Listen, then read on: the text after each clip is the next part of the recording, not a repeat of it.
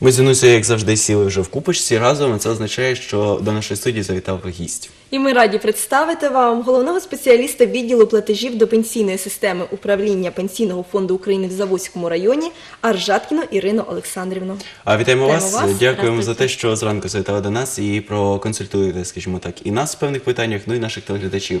А, До речі, дорогі друзі, якщо у вас виникають якісь запитання по ходу нашої розмови, можете телефонувати до нашої студії, ставити ці запитання нашому експерту і е, сподіватимемося, що вирішимо усі ваші проблеми. Отож, сьогодні говоримо про пенсійне забезпечення підприємців. І перше, про що хотілося б запитати, це саме яким законом регульоване назначення пенсії для підприємців. Этот вопрос урегулирован законом Украины об общеобязательном пенсионном страховании. По этому закону все граждане, достигшие пенсионного возраста, в том числе и предприниматели, имеют право на пенсию. Взагалі, який зараз встановлено вік е, для громадян України ви- для виходу на пенсію? Для всех граждан Украины этот возраст одинаков, 60 лет, но для женщин 1961 года рождения существует особый алгоритм. Так, женщины, родившиеся до 30 сентября 1956 года, включительно имеют право на пенсию при достижении им 55 лет. И Ми дальше, пропонуємо да. зараз вивести е, таблицю, на якій зображено проілюстровано усі весь цей вік, і відповідно е, як назначається пенсія за віком, і якраз прокоментувати її. Тож ми бачимо таблицю, пропонуємо вам прокоментувати те, що на ній. Зображено Вказується. так. Ну, получается, что 55 лет – это люди, которые родились до 30 сентября включительно. 55 лет и 6 месяцев – это те женщины, которые родились с 1 октября 1956 года по 31 марта. И так каждые полгода идет продление срока для определенного года рождения. 56 лет, которые родились с 1 апреля 1957 года по 30 сентября. И так вот в дальнейшем. А який взагалі треба мати мінімальний страховий стаж для того, щоб була назначена пенсія? Для назначения пенсии все граждане должны иметь 15 лет трудового стажа. А взагалі, як зробити такий страховий трудовий стаж для підприємців, які зараз нас дивляться? Їм це, я сподіваюся, дуже цікаво.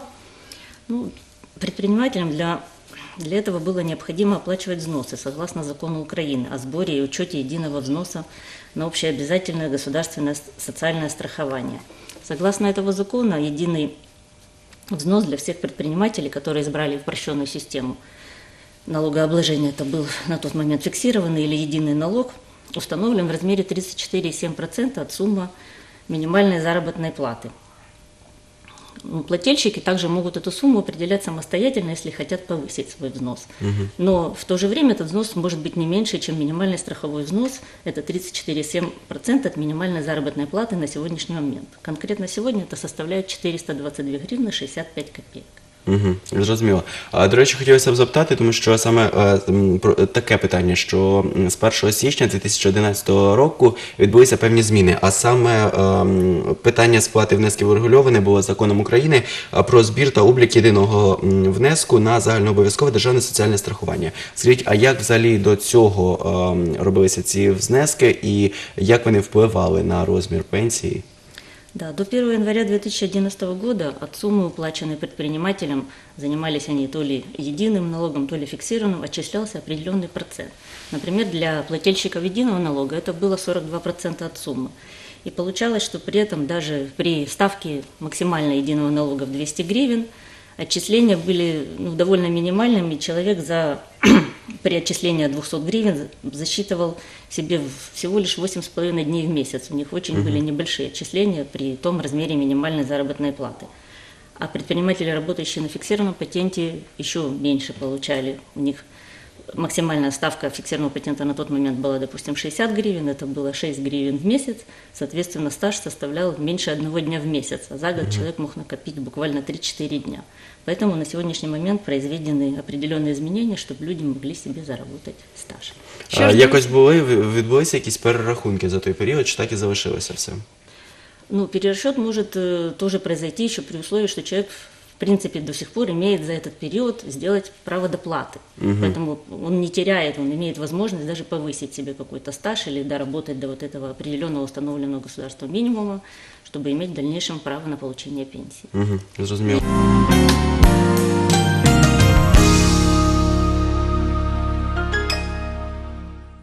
Дорогі друзі, ну що ж, ми повертаємося до нашої студії і нагадуємо, що в нас в гостях Ірина Аржаткіна, головний спеціаліст відділу платежів до пенсійної системи управління Пенсійного фонду України в Заводському районі міста Миколаєва. Отож, сьогодні Ми говоримо продовжуємо нашу а, тему. Так, на тему пенсійне забезпечення підприємців. І якщо у вас виникають запитання, можете зателефонувати за номерами, які ви бачите на екранах. Я хочу задати наступне вам питання: чи можуть люди добровільно зробити внесок цього соціальної і доплати?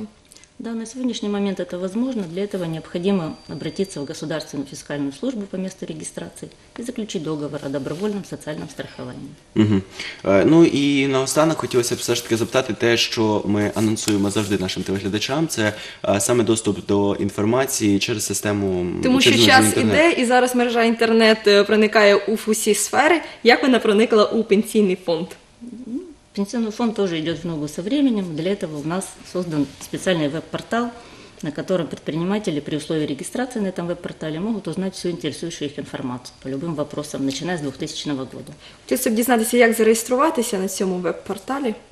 Для того, чтобы зарегистрироваться, необходимо подойти к нам в Заводский пенсионный фонд, который находится по проспекту Октябрьскому, 55Е, при себе иметь паспорт, идентификационный код, и можно все это сделать и обладать всією інформацією в полном об'ємі. Отож, дорогі друзі, як бачимо, все елементарне і все м, геніальне просто. Отож, все, що необхідно, це мати при собі документи, звернутися до е, пенсійного фонду е, і відповідно отримати доступ до своєї інформації. Ми дякуємо нашій гості за те, що сьогодні завітали Так, до нас, дякуємо вам. проінформували. Спасибо Сподіваємося вам. На наступну зустріч. Нагадуємо нашим телеглядачам, що наші зустрічі є е, традиційними, постійними. В середу ми зустрічаємося із працівниками пенсійного фонду, які консультують з різних питань е, стосовно е, виплат пенсії та їх призначення. Тож дякуємо вам.